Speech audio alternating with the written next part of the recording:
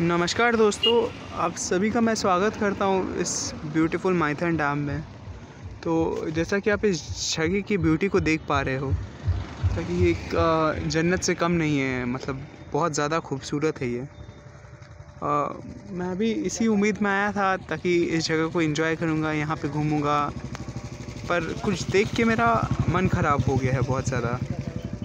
Just अगर मैं अपने कैमरे को थोड़ा सा नीचे कर दूँ तो ये देखिए पत्थर। और इस पत्थर पे प्लास्टिक रैपर्स प्लेट्स पे प्लास्टिक के प्लेट्स मतलब यहाँ पे बैठ के मेरा मन बहुत ही दुखी सा हो गया है, क्योंकि सिर्फ़ प्लास्टिक से भरे इस जगह पे मतलब क्या कर रहे हैं, हम क्या कर रहे हैं? हम अब इतनी ब्यूटीफुल हम लोग की प्रकृति, इतनी सुंदर है। इसे हम किस हद तक नीचे लेके जा रहे हैं, कितना बर्बाद कर रहे हैं मतलब तो आप सभी से निवेदन करता हूँ प्लीज़ जितना हो सके प्लास्टिक को यूज़ ना करें और अगर करे भी तो आ, उसे डस्टबिन में फेंके लेकिन प्लीज़ ऐसे इतने सुंदर जगह को गंदा मत करिए प्लीज़ प्लीज़ थैंक यू